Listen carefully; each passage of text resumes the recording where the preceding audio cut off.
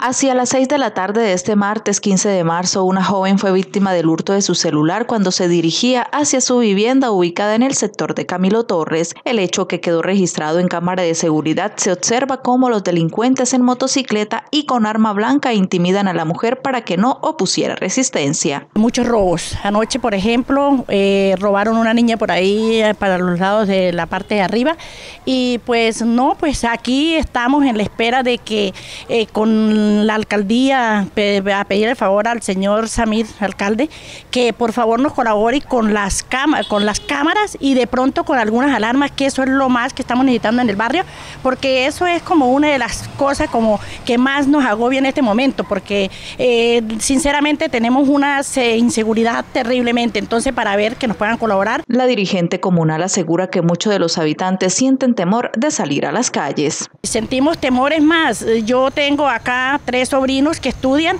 y llegan tardecito de la universidad y la verdad, la verdad que en todo momento estamos a la espera en que cualquier momento se presente algún caso porque se han presentado muchos, muchos problemas de, sobre el robo acá en el barrio. Aparte de eso, pues hay muchas personas que por ahí en los parquecitos se hacen y uno vive con el temor a toda hora. O sea, para salir cualquier persona, nosotros, los niños de la universidad, ancianos, todos, todos, todos, mejor dicho, estamos con un temor terrible esperan que en un trabajo articulado con el gobierno local y la Policía Nacional puedan buscar las estrategias para contrarrestar los hechos delictivos.